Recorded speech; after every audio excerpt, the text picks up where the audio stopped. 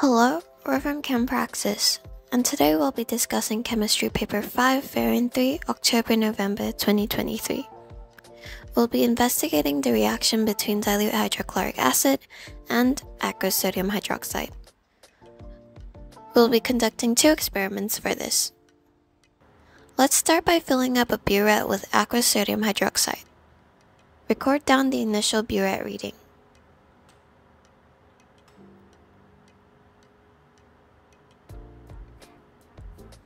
Using a measuring cylinder, pour 25 milliliters of dilute hydrochloric acid into a conical flask.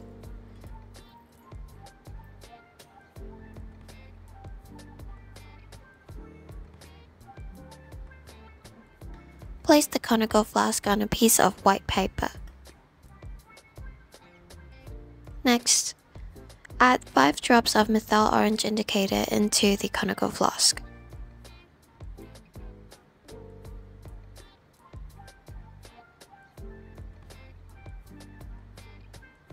Add the aqueous sodium hydroxide from the burette to the conical flask and stir it until the solution changes color.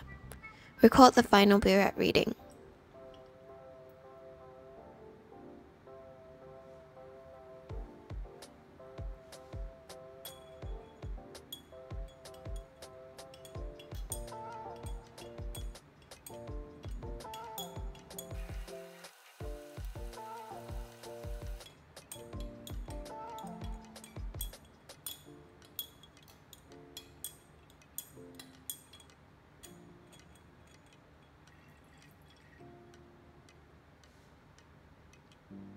According to the table, we know that it took 25 milliliters of aqueous sodium hydroxide for the dilute hydrochloric acid to change color. After refilling the burette with aqueous sodium hydroxide, use a measuring cylinder to pour 25 milliliters of dilute hydrochloric acid into a conical flask.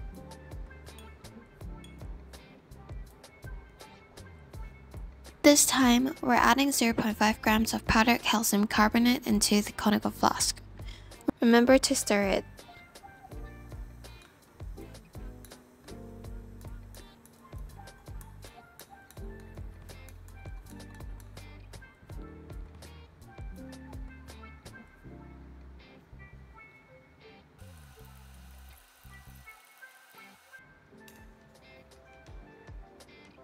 Repeat the steps conducted on the first experiment by placing the conical flask on the white towel and add 5 drops of methyl orange indicator into the conical flask.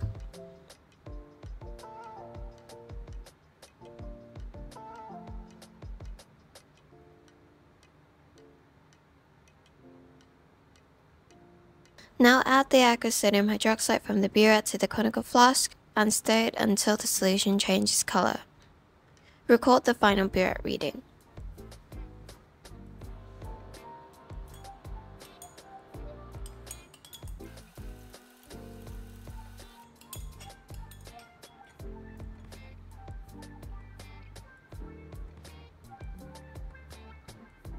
Throughout the experiment, we observed that the color changed from red to orange after a certain amount of aqueous sodium hydroxide is added into the dilute hydrochloric acid.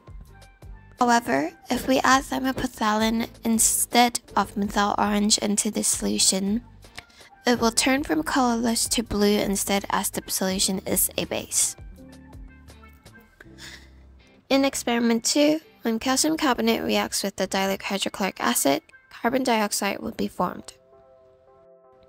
As the burette was only used for aqueous sodium hydroxide, it is not required to rinse it. However, we must rinse the conical flask to remove any traces of impurities. Drying the conical flask won't have any effect on the volume of aqueous sodium hydroxide needed, so it won't be changed. Comparing the volumes of aqueous sodium hydroxide needed to reach the endpoint in both experiments, the volume in experiment 1 is higher than experiment 2, and this is because both required different amounts of aqueous sodium hydroxide to neutralize it. Don't forget to repeat the experiment so that more accurate results can be achieved. For question 2, we'll be figuring out the contents in solid I and solution J. In the flame test with solid I, we can see that lilac-colored flames can be observed.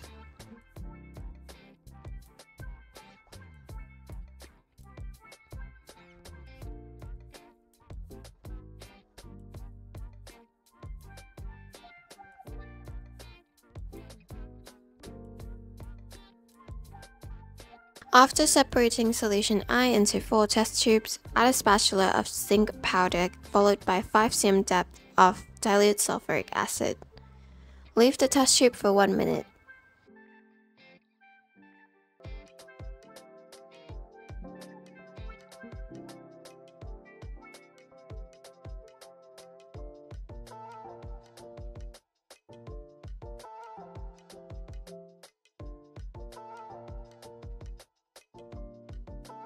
The can be seen and the solution becomes violet grey.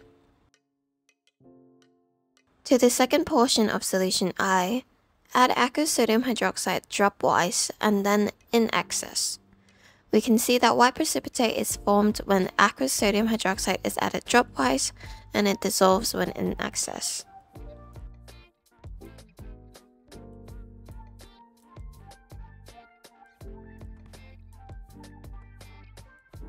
Add about a 1 cm depth of dilute nitric acid followed by a few drops of aqueous silver nitrate. We can see that there is no change to this solution.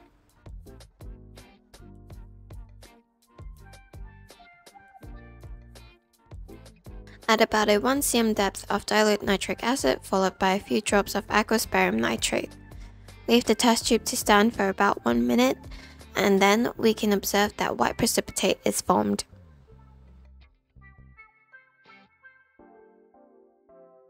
Throughout our experiment, we know that solid I contains potassium, aluminium, and sulfate. After dividing solution J into three approximately equal portions, test for the pH of the first portion.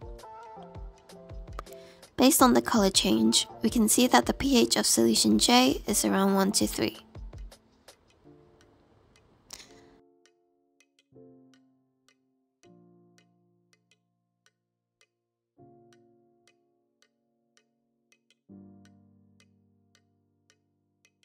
Add a piece of magnesium ribbon into the second portion of solution J and test for any gas produced. We can see fizzing and lighted splint pops. These results tell us that hydrogen gas is present.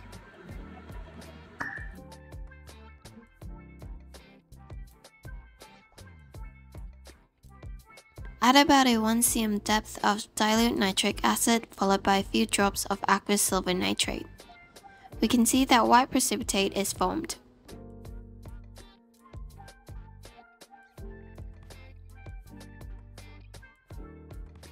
Throughout our experiment, we would know that solution J contains hydrogen and chloride.